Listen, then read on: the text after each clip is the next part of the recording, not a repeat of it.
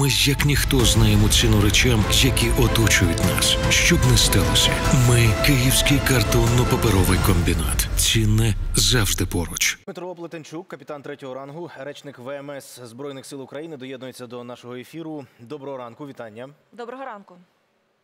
Доброго ранку, студія. Вітаю глядачів. Та ну почнемо з цих. Та з, ракетоносіїв, очевидно, почнемо, тому що певний період вони не були присутні. Тепер от є інформація про те, що росіяни знову їх виводять у Чорне море. Ем, чи є розуміння, з чим була пов'язана ось ця їхня пауза? Вчора був е, е, ракетоносій, який мав до восьми е, ракет на борту. Зараз на чергування вийшов е, дизель-електричний підводний човен. Там може бути до чотирьох.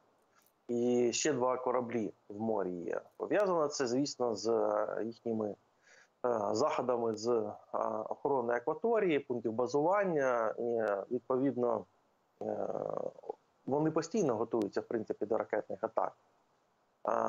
Але не завжди виводять носії в море. Станом на зараз він присутній, проте це не обов'язково свідчить про те, що його мають застосувати. Іноді вони їх виводять в море на чергування. В Азовському морі зараз один корабель, і як завжди, навколо е, так званого Керченського мосту там е, зараз чергує угрупування морської охорони ФСБ РФ. Пане Дмитре, у Середземному морі е, три російські кораблі, з них один ракетоносій. А чи запускали росіяни звідти ракети по Україні?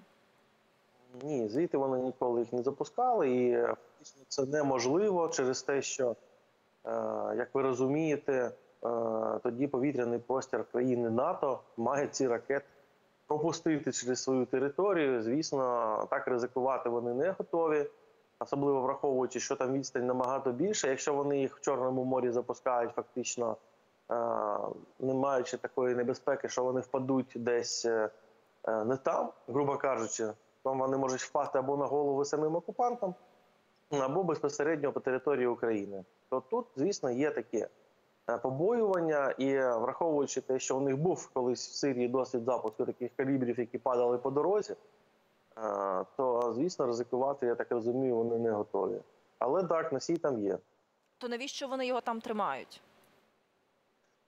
Досить е, правильне запитання Е, для того, щоб тероризувати е, мирне населення Сірії і вбивати його. І зараз, до речі, ті кораблі, які входять до цього угрупування зі складу Чорноморського флоту, починаючи від повномасштабного вторгнення, не можуть повернутися у свої пункти постійного базування, тому що Босфорський канал закрита Турецькою республікою Босфорського протоку.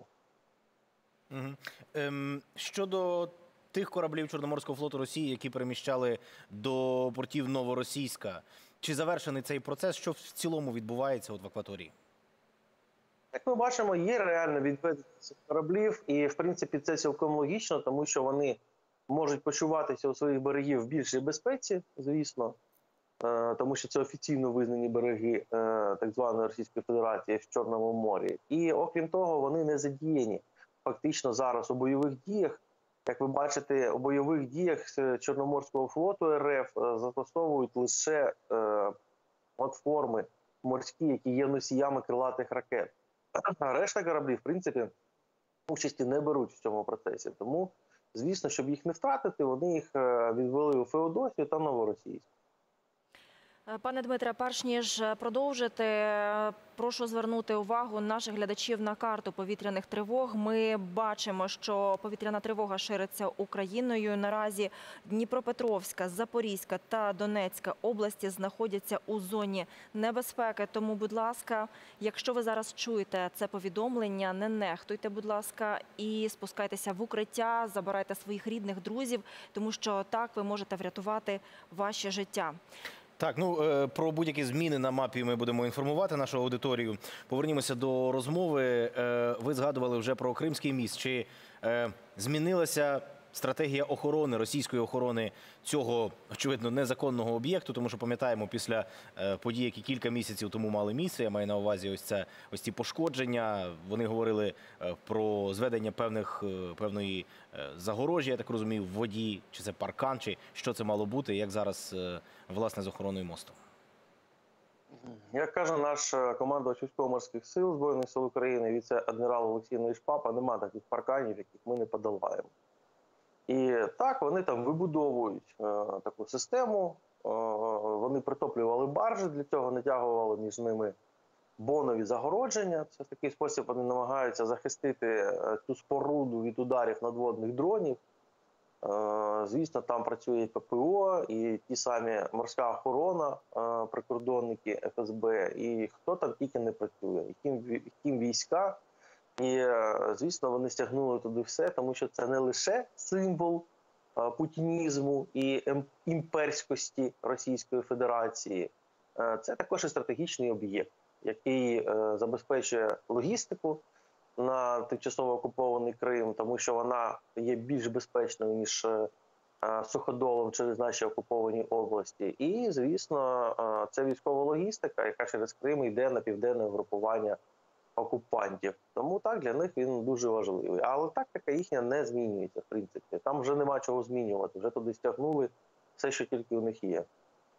А наскільки ефективна димова завіса, яку час від часу застосовують росіяни? і Як часто зараз вони, е, вони Вдаються, вдаються до цього методу? Ви знаєте, періодично вони застосовують різні способи. По-перше, при е, найменшій загрозі вони просто перекривають міст, і там створюються такі довжелезні корки по 300, 400, іноді тисячі машин. Може всю ніч, наприклад, бути перекритий. Е, Димові завіси давно не бачили. Це аерозольні е, такі хмари, які призначені для того, щоб спантеличити системи наведення ракет які е, мають розрахувати відстань до е, об'єкту для того, щоб е, правильно нанести вогневе ураження. Чи воно ефективне? Ну, побачимо згодом, як то кажуть. А якщо говорити про динаміку пересування військової техніки, е, людського складу через е, Кримський міст, то як що тут спостерігається? Наразі повторюсь, вони його використовують е, в першу чергу для військової логістики, тому що там є залізнична гілка. Залізниця для них завжди була головним логістичним інструментом, почина- починаючи з Першої світової війни ще. Е, Тому, звісно, використовують. В принципі, для цього і будували. Ем, Ситуація в цілому на Кримському півострові, як вона змінюється, тому що е, ну тут знову ж таки ми не можемо це трактувати як якесь офіційне джерело, але так як про це говорять колаборанти, ну бо, наприклад, той самий Аксьонов, він український громадянин вважається, але людина, яка колаборує, співпрацює з окупантами. Е, Є проблеми з приїздом росіян на півострів, ну бо нестабільно, не хочуть їхати. І я так розумію, що є так само відтік тих, хто приїхали е, після початку окупації. Як із цим? Ну, у них там зараз е, на першій позиції виходить інший спік- спікер е, Розважаєв, АК Колобок, його ще називають. І у нього там все, все у нього добре, як то кажуть. Але насправді, як ви бачите, е, туристичний сезон у них ще не розпочався в цьому році. Е, Щось мені підказує, що він вже не розпочнеться. Що стосується загалом е, ситуації, ну, багато з тих, хто свого часу туди перебрався з Росії, деякі зрадники, вони вже почали потроху розуміти, що треба залишати цей півострів і е, шукають собі вже тепленькі містечки десь е, безпосередньо в Росії. Е, А що стосується соціальної обстановки, ну перекриття мосту періодично, звісно, відбувається на соціальному настрої. По-перше, виникли проблеми з пальним вже більше місяця тому. Іноді його просто немає на заправках, іноді якихось видів. Відповідно, це впливає на рост цін в Криму.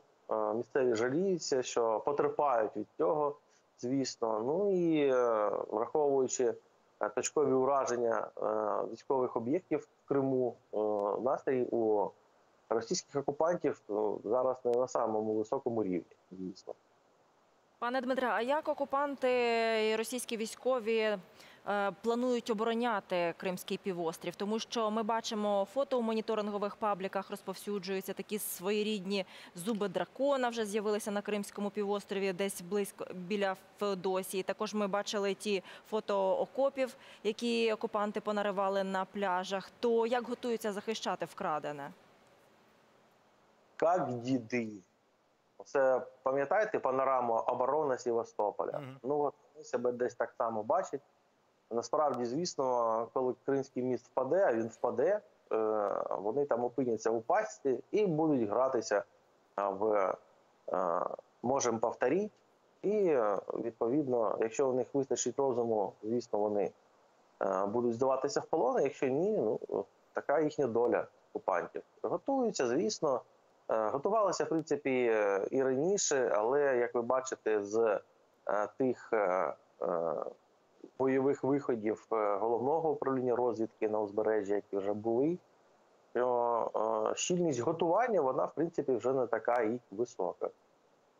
Ну, до речі, от про український десант, який висаджувався на кримських берегах.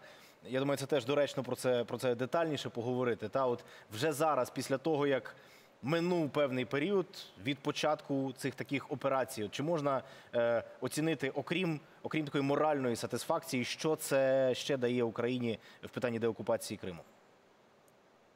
Ну, насправді з позиції ВМС можу лише зазначити, що е, ми безпосередньо е, маємо дотичність до цієї операції військово-морські сили, але усі подробиці безпосередньо виконання, звісно, все ж таки е, треба почути від головного управління розвідки. Е, Що стосується загалом цих операцій, вони не є випадковими, вони не є символічними, як це у нас полюбляють росіяни. Це все є елементи українського контрнаступу. Е, Все це е, складові однієї тієї самої мозаїки, і згодом одного дня цей пазл складеться обов'язково. Пане Дмитре, стосовно тимчасового зернового коридору у Чорному морі, як він зараз функціонує і яку пропускну спроможність нині має? Функціонує. Це головне. Щодо подробиць, е, не хочемо розкривати деталей, можемо лише зазначити, що е, ми робимо все від нас залежне і все можливе для того, щоб забезпечити безпеку цивільного судноплавства в нашій акваторії. І відповідно вдячні нашим е, колегам. Е, такий спосіб фактично коридор і працює, що судно, знаходячись в акваторії країн НАТО, можуть почуватися у безпеці, тому що все ж таки е, воювати з НАТО у пропагандистських шоу і воювати з НАТО в реальному світі, це, як у нас кажуть в Одесі, дві великі різниці. І відповідно е, цей коридор функціонує завдяки цьому і завдяки нашій е, спільній праці усіх складових сил оборони і безпеки України. І тому будемо сподіватися, що все ж таки отримає друге дихання цей коридор. Е, Зараз є рух суден, і враховуючи те, що для України цей канал експорту є основним, завжди був до повномасштабного вторгнення і складав 90% українського експорту. е, Вважаємо це одним з наших пріоритетних завдань. Почули, почули. Дякуємо вам за те, що описали оперативну ситуацію. Дмитро Плетенчук, нагадаю, капітан третього рангу і речник ВМС Збройних сил України з нами на зв'язку.